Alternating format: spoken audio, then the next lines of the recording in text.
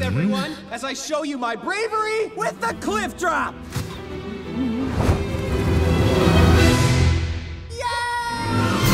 Richard, the sparrow who grew up with storks, is back. Today's the day! I'll finally prove that I've got what it takes to lead our flock back home. Hey, Dad. What's up? Is he ready to lead the flock? The Flock Council have come to an agreement. Richard Yes! had to be disqualified. Ah, it's not fair! I don't need a flock. Ready for new adventures. Look at this place. I've never seen anything like it. Hi. Who are you? We're riffraff.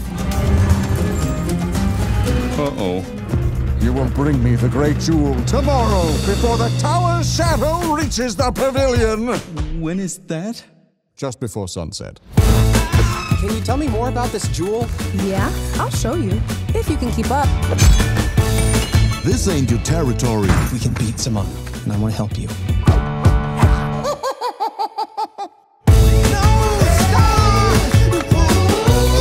It's our last chance. It's battle time are a great team. We're